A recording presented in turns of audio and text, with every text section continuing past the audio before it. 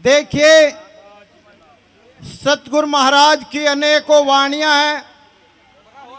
YouTube पे Facebook पे आपको अनेकों वाणी सुनने को मिल जाएगी।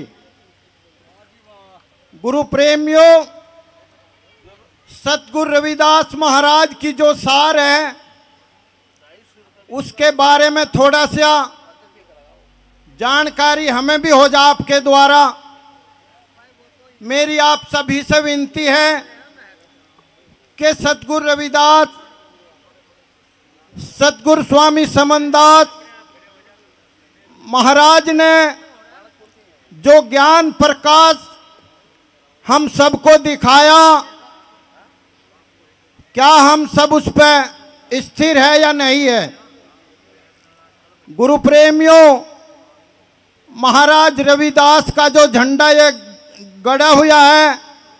सतगुरु स्वामी समनदास जी महाराज ने झंडे को बुलंद किया और सतगुरु रविदास महाराज उस समय में प्रकट हुए, जिस समय में अछूत, छुआछूत, बहुत बहुत बहुत छुआछूत थी। गुरु प्रेमियों महाराज ने उस कीचड़ में धसी हुई गाड़ी को निकाल करके आज शिखर पर पहुँचाया है। हम सबको इतनी आज़ादी दिलाने वाले सतगुरु स्वामी रविदास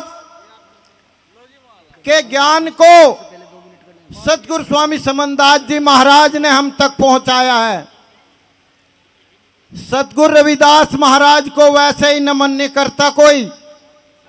गुरु प्रेमियों सतगुरु रविदास महाराज, वो अटल शक्ति है, वो सत है कि जिसकी आप जरा सी भी कल्पना नहीं कर सकते गुरु प्रेमियों।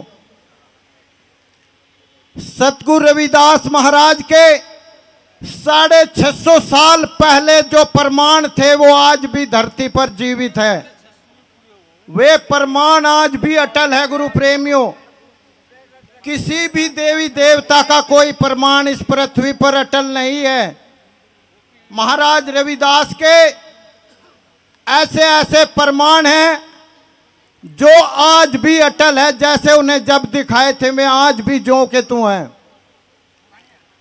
और गुरु प्रेमियों, जो दोगली भक्ति में रहेगा, वो ना इधर का और ना इधर का रहेगा। सतगुरु रविदास महाराज ने ऐसे छुआछूत के अंधकार को मिटा करके ऐसी आज़ादी हम सबको दी गुरु प्रेमियों, कि हम सब हर समाज के द्वारा, हर समाज के द्वारा इस संसार में शीश उठाकर चलते हैं।